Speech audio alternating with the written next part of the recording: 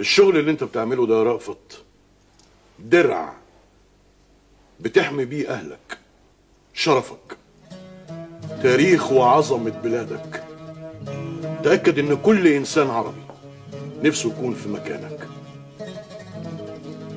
أنا واثق إنك هتكمل للنهاية أنا متأكد من كده يا رأفت متأكد.